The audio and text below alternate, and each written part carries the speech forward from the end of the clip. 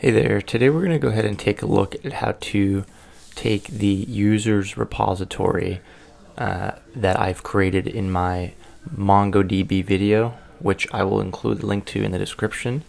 We're going to take a look at how we can take this repository and make it enterprise ready. So turn it into an abstract class that interacts with Mongo directly and each of our subsequent domains can extend it and we don't have to repeat all of this code throughout the project.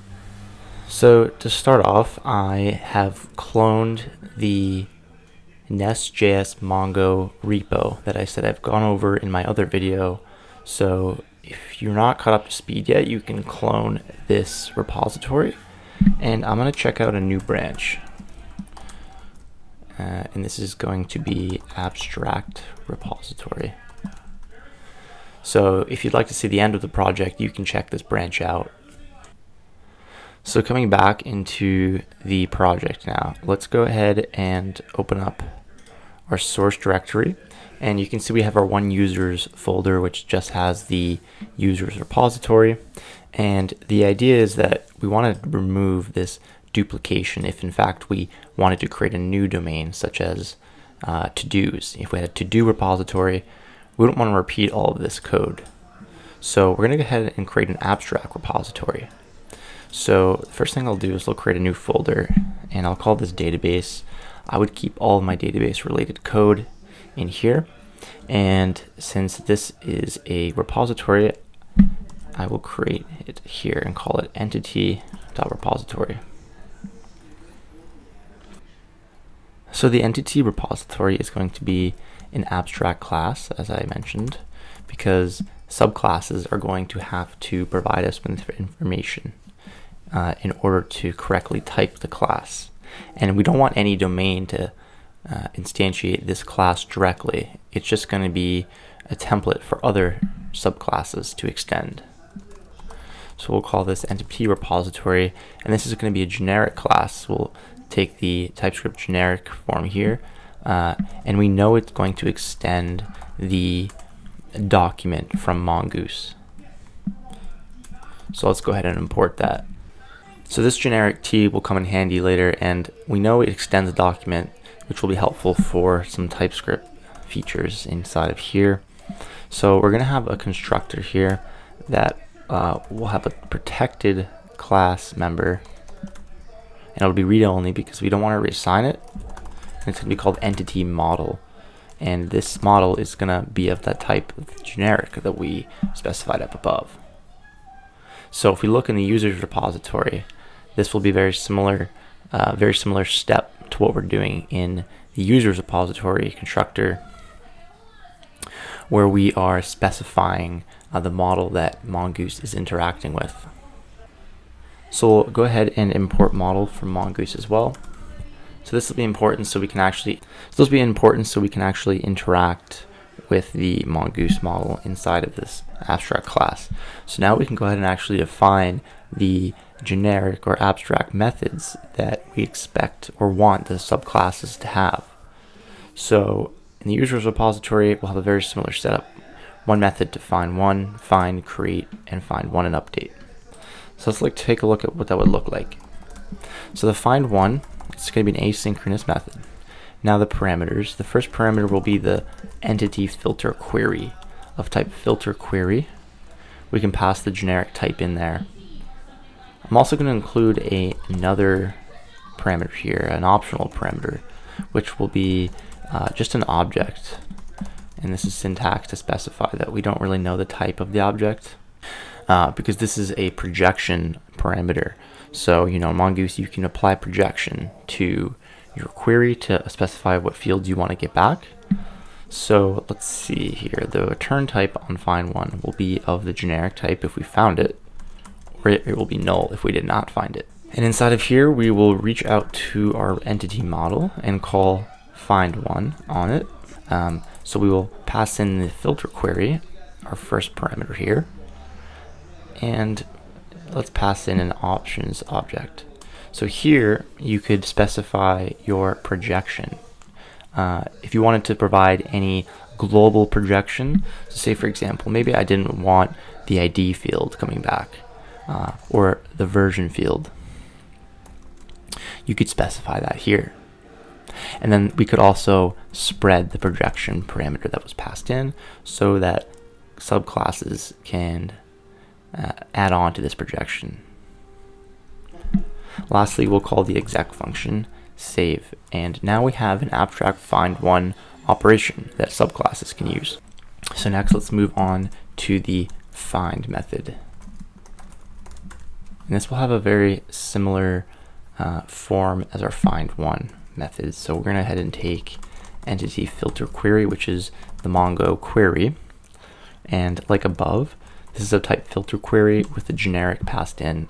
So uh, it will look for documents um, with the specified properties in our model here of type T. We can also provide a projection parameter if we liked. For this one, I'll leave it out. Uh, and so we're going to return a promise here. This will be an array or null if we didn't find anything.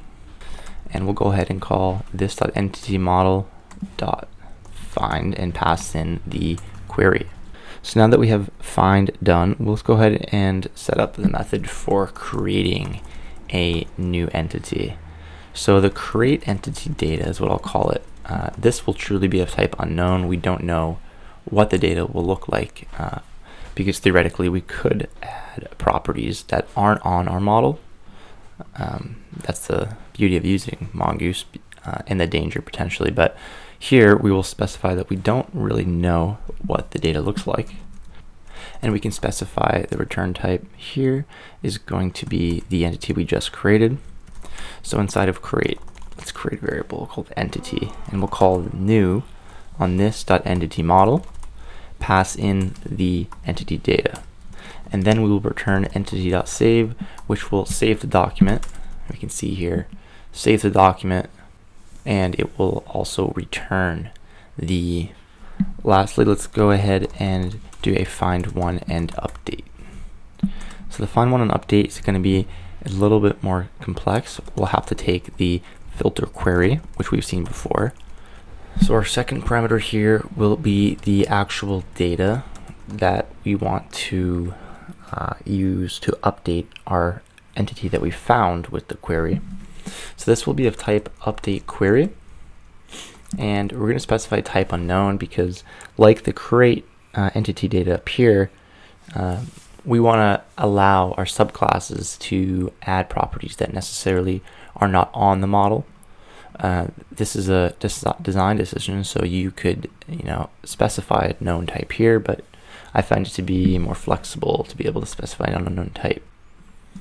So now we can go ahead and specify a return type of the entity that we've updated or null if it was never found. Uh, the idea here is that we want to return the entity that we just updated, uh, being the new entity, the, the updated one, back to the uh, caller. So to do that, we'll call this entity model find one and update.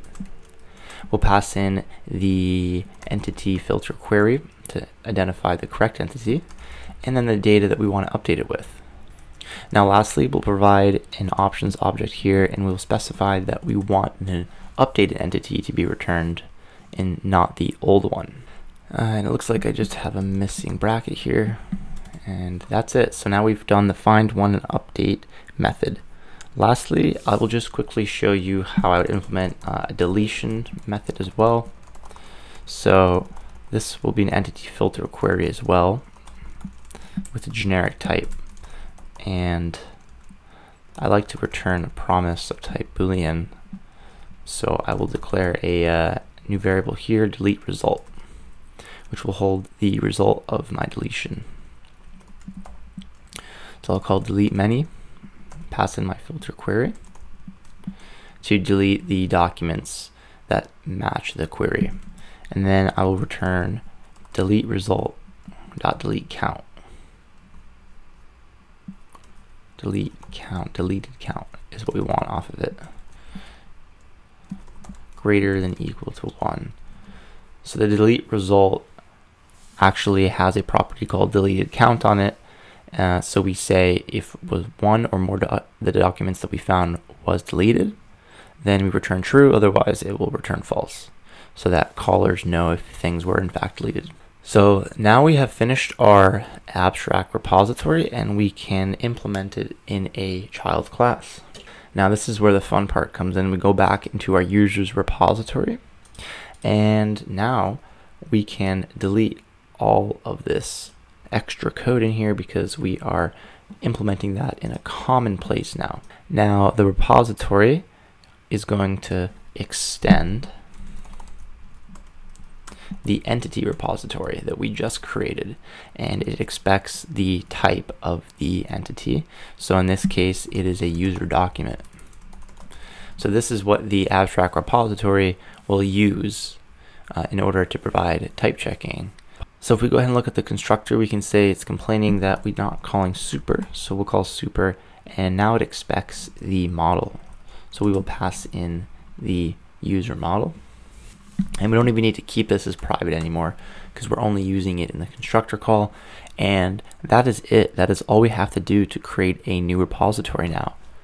So if we had a new domain here, let's say to-dos, uh, we would create a to-dos repository with the doc to-do document.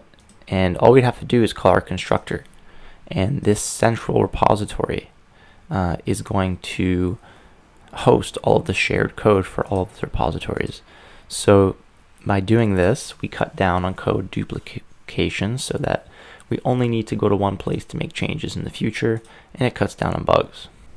And notice too, if we go back into our user service here, nothing has changed. We're still calling find one, find create, and find one and update on the user's repository. But now we are extending from the repository we created, and we get all of this code for free in a sense. So I hope that was helpful, and I'll see you in the next video.